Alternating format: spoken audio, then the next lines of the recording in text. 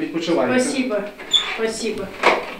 В цій професії дійсно дуже мало чоловіків. Більшість чоловіків це фельдшерські, е, так само ж акушерів багато знаю.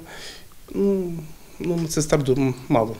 Володимир Ясечко працює медсестрою вже 6 років. Саме так називається його фах згідно з національним класифікатором професій України. Хоча колеги та пацієнти звертаються без офіціозу. Медбрат, да. Як хто? Як хто просто Володя.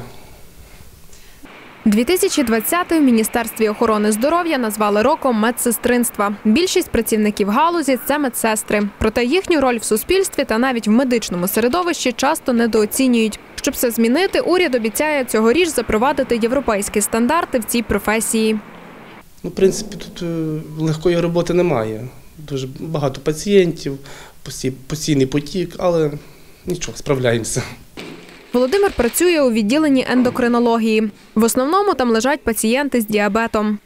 Тамара Кирилівна, добрий день. Добрий день. Як ви себе сьогодні почуваєте? Сьогодні добре. Як спали? Норма, хорошо. Робота розпочинається о 9 ранку і закінчується теж о 9, щоправда, наступного дня. Одна зміна в лікарні триває 24 години. Тяжко, але це дуже добре. бо Ти приходиш на роботу, ти знаєш, що поступив, е, ти знаєш, в кого пацієнта вночі може бути які проблеми, там може впасти цукор.